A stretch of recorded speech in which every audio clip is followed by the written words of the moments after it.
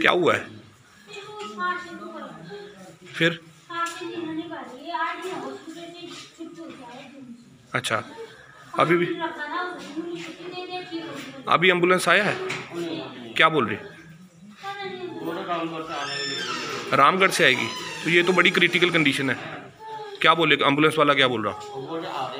आ रहे हैं। कितनी देर हो गई आधा घंटा हो गया।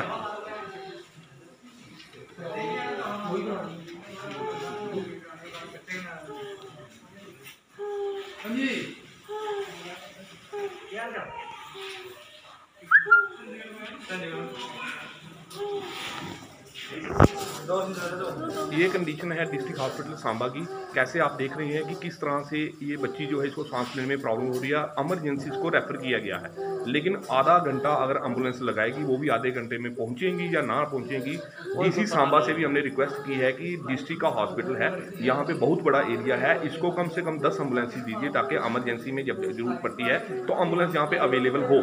लेकिन यहाँ पे एंबुलेंस आज भी नहीं है और डिस्ट्रिक्ट हॉस्पिटल की हालत वैसे की वैसी है। कोई भी यहाँ पर अगर आता है तो उसको एंबुलेंस अवेलेबल कई बार इशू बन चुके हैं लोग जब आते हैं एमरजेंसी में जब एंबुलेंस चाहिए होती है यहाँ पे एंबुलेंस नहीं मिलती है। डीसी सांबा से रिक्वेस्ट है कि इसके ऊपर विशेष ध्यान दें। अगर हॉस्पिटल चलाना है तो इसके ऊपर विशेष ध्यान दें एलजी साहब भी ध्यान दें और डायरेक्टर जो है हमारी हेल्थ एंड वो भी इसके ऊपर ध्यान दें कि लोगों को कितनी परेशानी बनी हुई है, इसका जल्द से जल्द कोई समाधान निकाले। लोग परेशान हो रहे हैं क्रिटिकल कंडीशन है, नहीं तो मैं खुद अपनी गाड़ी में इनको लेकर जम्मू चले जाते लेकिन जो कंडीशन यहाँ पे दिख रही है, इसको क्रिटिकल केयर एंबुलेंस की ज़रूरत है, जो यहाँ पे अवेलेबल नहीं है, इसलिए लोग काफ़ी सफ़र कर रहे हैं, इसके ऊपर विशेष ध्यान दिया जाए।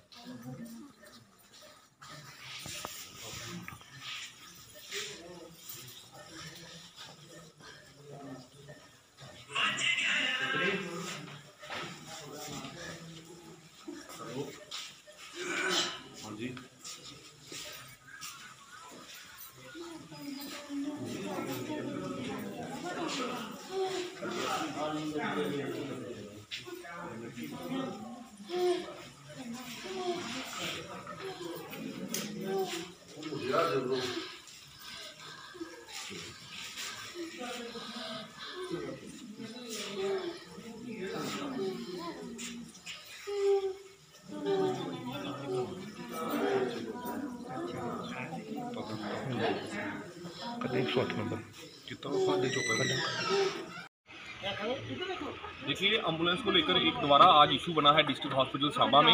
यहाँ पे एक बच्ची जिसको हार्ट की प्रॉब्लम थी, तीन बजकर बतालीस मिनट पे उसको रेफर किया जाता है डिस्ट्रिक्ट हॉस्पिटल सांबा से जम्मू के लिए। लेकिन यहाँ पे एंबुलेंस अवेलेबल ना होने की वजह से अब चार बज के बीस मिनट के बाद ये एंबुलेंस जो है रामगढ़ से आ रही है। पहले गगवाल में पता किया गया, वहाँ पे एंबुलेंस नहीं थी। फिर रामगढ़ से ये एंबुलेंस आ रही है।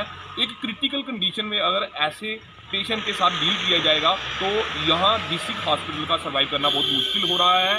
ब्लॉक दिवस में भी डीसी सांबा से हमारी एंबुलेंस को लेकर बात हुई है। सीएमओ साहब बोलते हैं कि जो अवेलेबल यहाँ पे एम्बुलेंसेज अवेलेबल हैं, वो जाएँगी। लेकिन जब बात आती है जाने की तो वो एंबुलेंस यहीं की यहीं खड़ी होती हैं। वो एंबुलेंस यहाँ पे अवेलेबल नहीं मिल पाती। लोगों को सफ़र करना पड़ता है। डिस्ट्रिक्ट हॉस्पिटल है। कम से कम दस एम्बुलेंसेज का हमने पहले भी रिक्वेस्ट की है। दोबारा रिक्वेस्ट करते हैं डीसी सांबा से। एलजी जम्मू कश्मीर से अगर एक प्राइवेट ठेका दिया ही गया है, एक डिस्ट्रिक्ट हॉस्पिटल को आप डिस्ट्रिक्ट की तरह क्यों नहीं समझते? इस डिस्ट्रिक्ट हॉस्पिटल का कितना बड़ा एरिया है गगवाल है।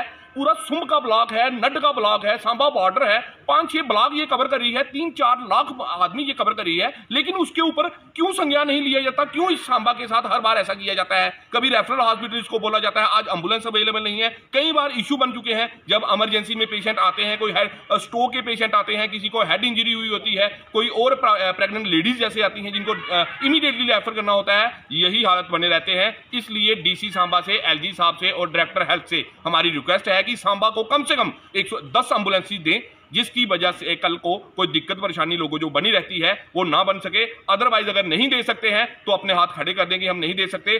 लोग डिस्ट्रिक्ट हॉस्पिटल सांबा में आए ही ना, सीधे ही जम्मू के लिए चले जाएँ। तो दोबारा रिक्वेस्ट करेंगे कि जल्द से जल्द एंबुलेंस जो है सांबा हॉस्पिटल में प्रोवाइड करवाई जाए। धन्यवाद।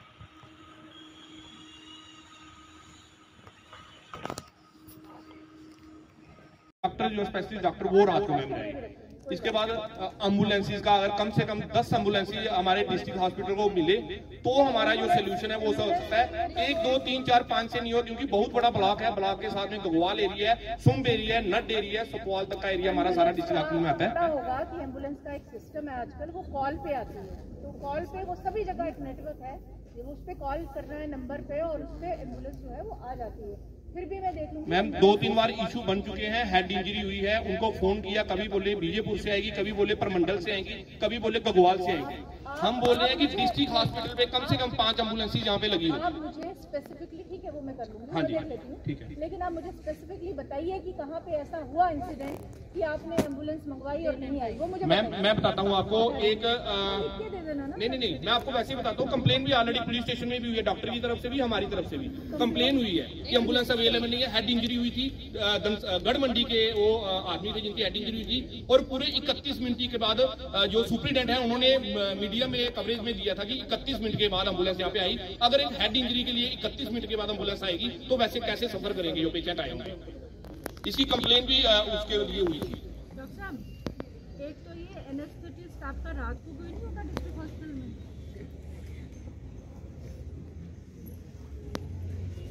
ये कह रहे हैं कि डेट उस पर रखा हुआ है ब्लॉक दिवस है ना? आज आप क्यों नहीं आए वहाँ पे? अगले हर ब्लॉक दिवस में आपको आना है ठीक है? तो ये अ,